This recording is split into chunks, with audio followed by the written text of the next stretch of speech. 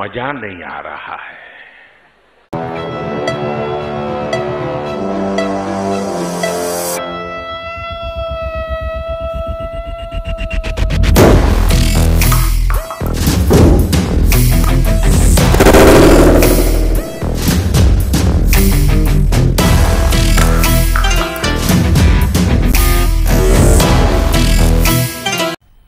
मज़ा आया।